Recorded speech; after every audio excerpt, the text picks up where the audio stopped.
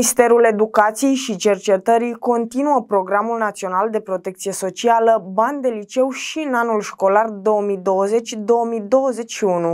Printre beneficiarii direcției actului normativ se află și elevii care provin din familii defavorizate, iar aceștia vor primi un sprijin financiar lunar în valoare de 250 de lei.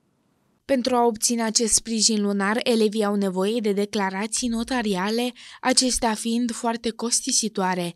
Înainte de apariția ordinului în care le-a inclus pe lista documentelor gratuite, uneori aceste acte ajungeau la jumătate din suma primită de la stat, ceea ce îi determina să renunțe la solicitarea lor.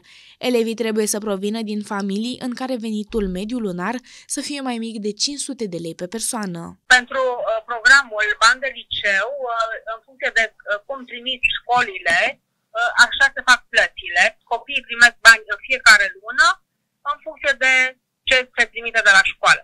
Capitalul din programul Bani de Liceu se acordă pe baza unui dosar în care trebuie să fie și declarații notariale în privința lipsei veniturilor de la membrii majori ai familiei.